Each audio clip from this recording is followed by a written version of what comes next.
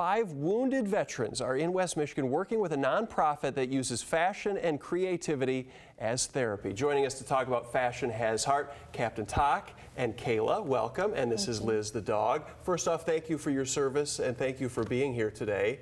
What, what does Fashion Has Heart mean to you? You say it's, it's a release.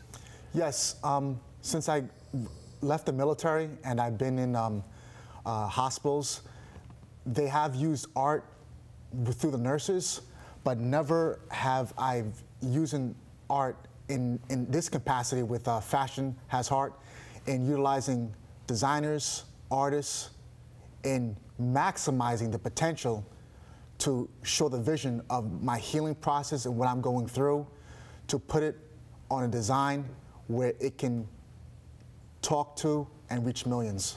Kayla, you came in from Los Angeles yes, for this. What did you think when you first heard about this, and, and how does it make you feel to be able to take part? I was so excited. I just thought the whole idea had so much passion behind it.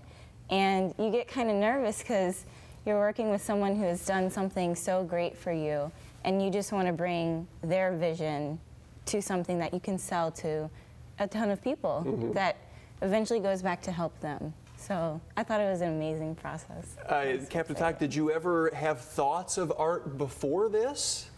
Uh, no, I haven't. Um, just going through therapy, we did use arts and crafts. Mm -hmm.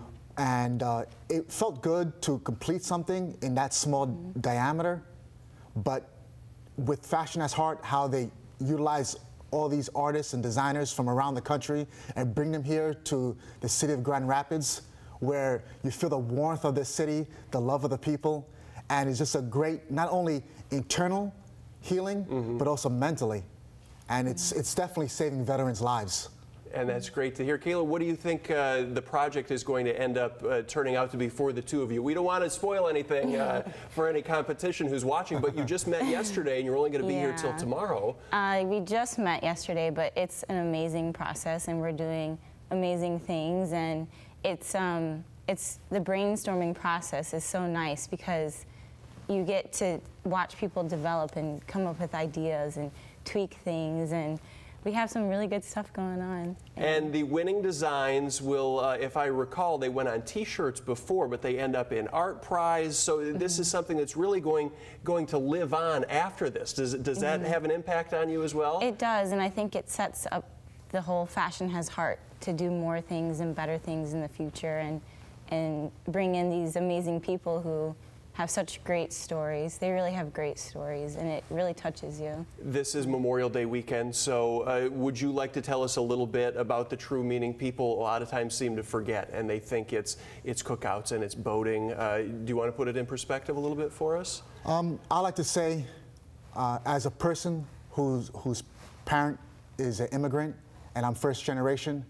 Um, I would not have the opportunity if I wasn't born in this country to go through university, go through law school, and serve our great nation.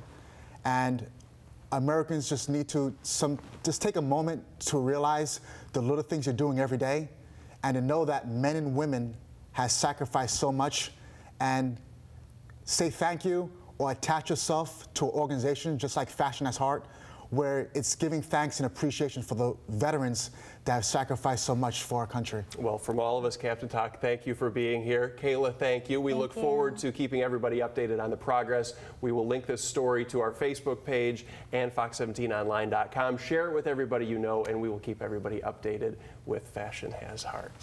We got another check of your top stories and a quick forecast after the break.